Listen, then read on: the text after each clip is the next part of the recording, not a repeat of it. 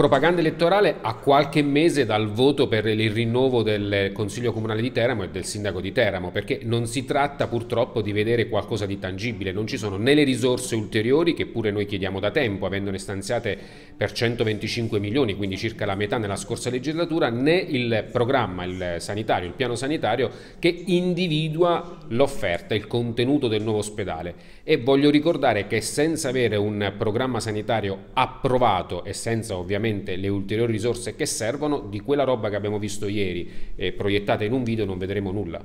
E non siete d'accordo immagino neanche sull'idea progettuale che verte sul Mazzini?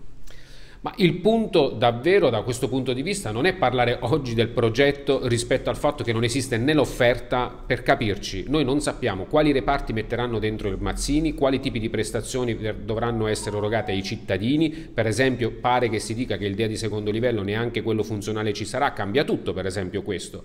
E invece si fa una, una sorta di proiezione di un'immagine che può essere utile solo per una campagna elettorale. Ma io penso che nessuno si farà imbrogliare da tutto questo possibile presentare un progetto senza però avere neanche del tutto i fondi fino a questo momento? Assolutamente no, questo è un altro dei punti, ecco perché soltanto propaganda elettorale e infatti penso di poter lanciare una scommessa abbastanza semplice da poter vincere allo stato attuale, non partirà nulla di quello che abbiamo visto perché non ci sono né le risorse né c'è il piano sanitario che individua le prestazioni, i reparti, quello che quel tipo di ospedale dovrà garantire ai cittadini a Teramo, nella provincia e nella regione.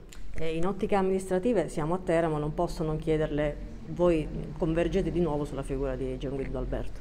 Con forza, contenti e soddisfatti del lavoro fatto, ma con ulteriori obiettivi da traguardare nei prossimi anni.